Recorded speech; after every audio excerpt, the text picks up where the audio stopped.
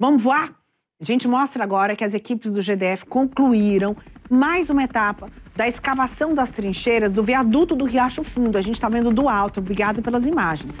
De acordo com os trabalhadores do DR, o foco agora é na preparação do solo para receber as primeiras camadas de massa asfáltica.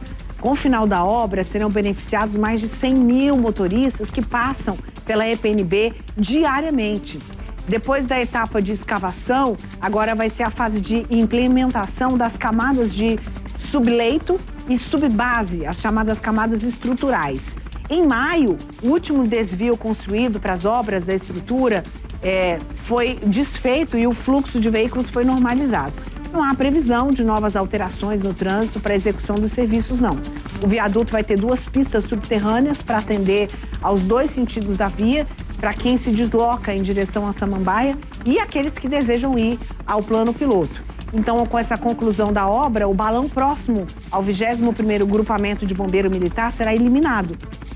Atualmente, ele é usado pelos motoristas para acessar a região administrativa e a área de desenvolvimento econômico em Águas Claras.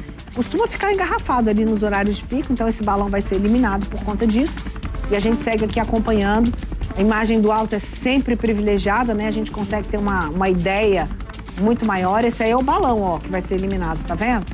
E a gente acompanha os trechos da obra ali, cada etapa que está sendo feita para poder fazer essa mudança no trânsito. Quem circula por ali vai participar dessa mudança.